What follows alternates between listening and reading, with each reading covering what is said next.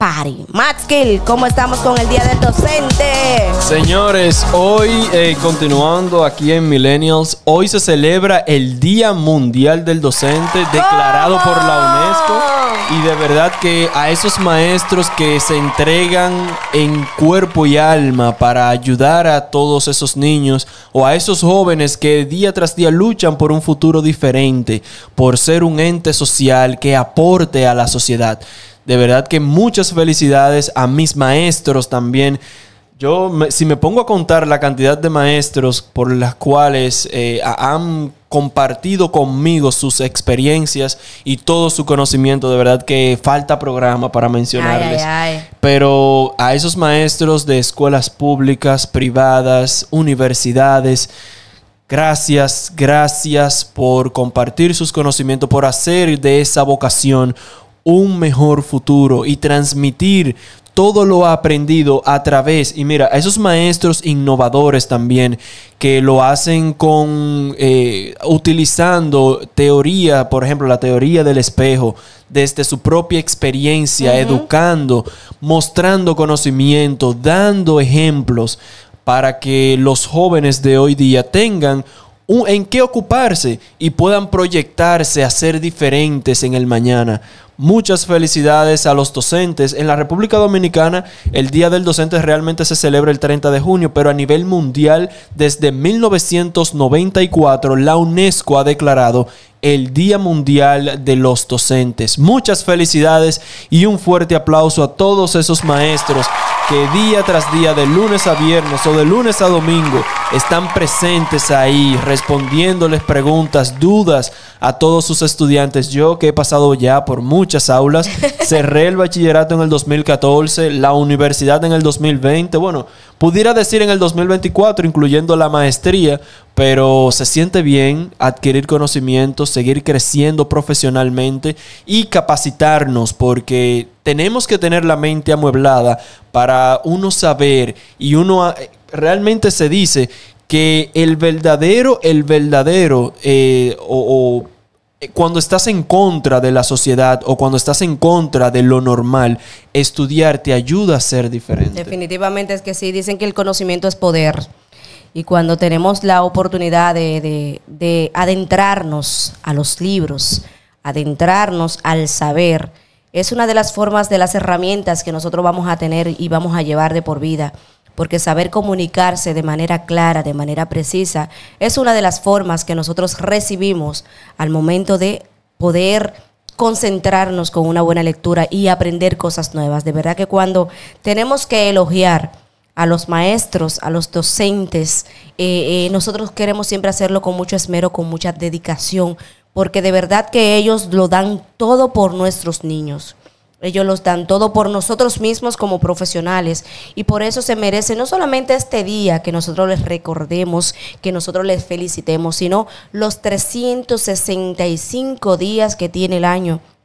Porque nuestros niños, nosotros pasamos el día en las aulas, recibimos el conocimiento de los docentes, de los maestros, de los profesores, porque no solamente son los docentes, son todos los que forman parte del, del, del saber, lo que tienen esa gracia, ese espíritu para enseñar lo poco o lo mucho que saben a las demás personas. Entonces hay que felicitarle de verdad con muchísimo agrado, con muchísimo corazón e invitarles a que siempre sean ese ser especial para aquellas personas que necesitan aprender un poquito, que, que continúen siendo esas personas que aman la vocación del servicio, que aman la vocación de enseñar, para que también esos niños que hoy vienen surgiendo suban con ese amor de la enseñanza que recibieron, porque yo he escuchado a muchas, a muchas personas más que dicen, no, la escuela me traumatizó la escuela me hizo tal cosa porque los maestros me hicieron tal cosa.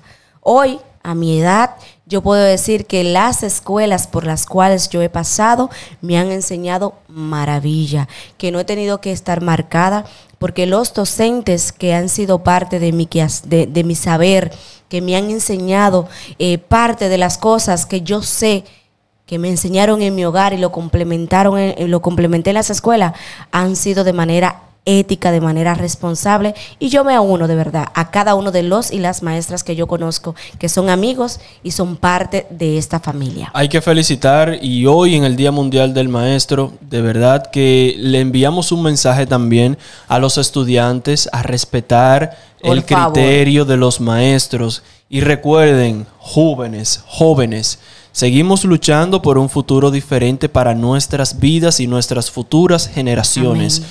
Recuerda siempre que un lápiz pesa menos que una pala sin denigrar en los trabajos que se realizan eh, o con obrería, pero es mucho mejor, es mucho mejor tú adquirir el conocimiento y poder levantar tanto el lápiz como la pala al mismo tiempo. Eso es así. Mira, esos son uno de los mensajes que como joven, a veces muchos dicen no porque son unos jóvenes que lo están diciendo. Por ser jóvenes, son uno de los mensajes que deberían crearse acá y quedarse acá. Si lo creamos en nuestro cerebro, podemos desarrollarlo y llevarlo a nuestro corazón. Y de esa forma vamos a poder estar dando lo mejor de nosotros en cada preparación académica que podamos tener, en cada pupitre que podamos sentarnos, en cada salón de clases que tengamos la oportunidad, vamos a abrir nuestro cerebro para que reciba todo ese conocimiento que esos docentes tienen para nosotros, sin cuestionarles, sin decirles, pero ¿por qué pones esto o aquello? Simplemente aprender, porque de cada palabra o de cada acción que un docente utilice para usted ese día, algo nuevo usted se va a llevar a sus hogares, algo nuevo usted se va a llevar aquí a su biblioteca, pero algo nuevo usted se va a llevar para anotarlo en el libro de la sabiduría de su vida, que usted no sabe qué tanto esa persona le puede enseñar en tan solo un segundo, pero tiene que abrirse a aprender. Y qué bueno que los docentes de verdad que nos dan esas herramientas y que lo tenemos, es lo importante. Sobre todo eso. que lo tenemos.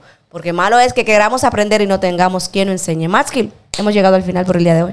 Ay, Ana, de verdad que se siente bien. eh, y ya cerrando ahí Millennials, se siente bien eh, el poder compartir eh, contenido de calidad, contenido que puede aportar a la sociedad. Así Y mismo es. Desde aquí sí logramos ese objetivo sábado tras sábado. Así mismo es. Pero antes de irnos,